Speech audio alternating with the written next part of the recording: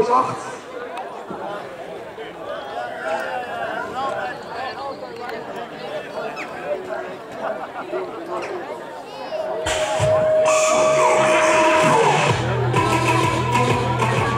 Hele snelle start van de binnenkant van Colin van Zutphen van de Wheels. Hij loopt samen met Roy van Dijk, Tico Drinkvater, Tijmen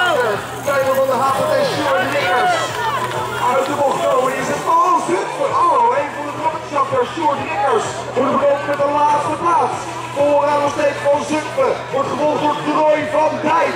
Troy van Dijk en van Zutphen op de one and two. We gaan kijken naar Tijmen van de Haver op 3, op de Tigo Drinkwater. Op 5 de laatste wil Sjoerd Rikkers. Vooraan de twee kenbanen van de Wils zijn aan het rijden in deze week op de eerste plek.